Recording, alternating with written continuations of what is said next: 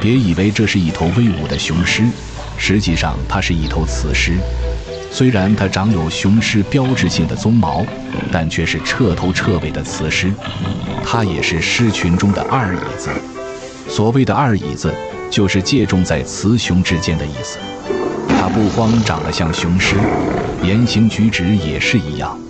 它会发出吼声，相较于其他的雄狮更加低沉，更富有雄性气概。在非洲的大陆上。据估计有五头这种雄性化的雌狮，究竟是什么原因导致雌狮变成这样？科学家至今无法给出一个确切的解释。不过，这头雄性化的雌狮在狮群中占有举足轻重的位置。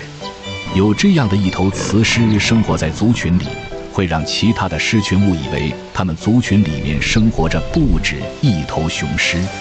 这样的战力。让其他的狮群不敢轻举妄动，从而提升他们狮群的生存机会。或许这也是狮群的一种变相进化。自然界中族群之间的争斗较为残酷，这是生活在巴拿马的僧帽猴，他们族群之间为了争夺领地，经常以性命相搏。事实上，僧帽猴同类之间造成的伤亡，比他们的天敌还多。族群的兴亡关乎着每一个成员，这一点毋庸置疑。只是某些族群的争斗十分危险，而且稍有不慎就可能会挂掉。那么，究竟该怎么办呢？最好的解决办法就是摸鱼，这是他们在长期争斗中唯一能够想到的一个折中的办法。僧帽猴的摸鱼，就是在族群的争斗中出工不出力。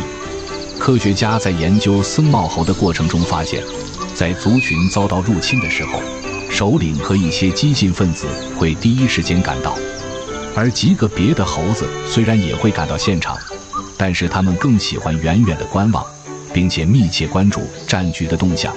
一旦风向不对，下一秒可能直接闪人。如果战局有利我方的时候，他们就会掩杀过去，以壮己方声势。这样的方法可以有效地让他们规避风险但是却需要对冲突的局势做出精准的判断。一旦出现错误就会被我方或者敌方爆锤。